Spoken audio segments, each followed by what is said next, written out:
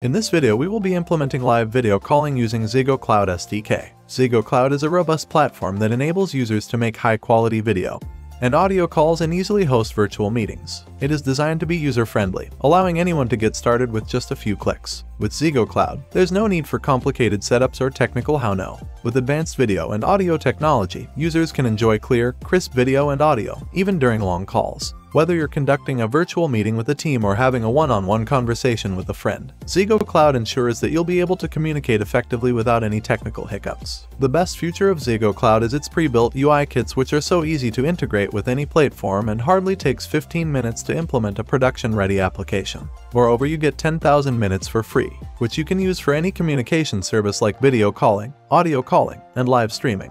To get started, create a free account and log into the dashboard create a new project and select Voice and Video Call. Give your project a name and start with UI kits. It will take some time to create your project.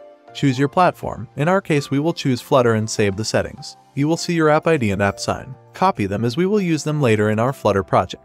Create a new Flutter project and open it inside your favorite IDE. Open Terminal and add the Zego UI kit pre-built call dependency. You can directly add the dependency inside pubspec.yaml file. Open your Android manifest.xml file from Android, app, source, main, and add the following permissions above the application tag.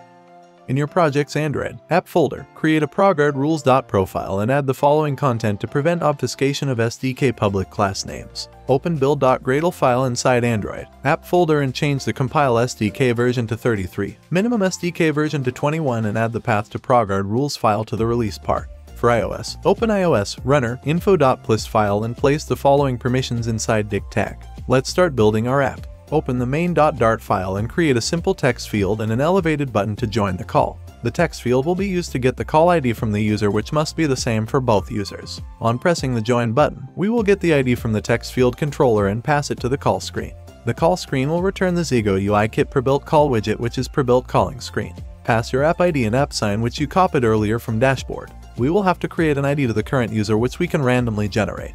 You can use a user management system to manage user IDs. Also pass the username and the call ID. We can also set some configuration for our call, like if other user ends the call, move to previous screen. Generate the random ID and also get the call ID in the constructor. You can also visit custom pre-built UI page for customization of calling screen and applying other configuration. It's time to test our app. Install the app on two different devices. I am using an emulator and a real device. Enter the same call ID on both devices and press join.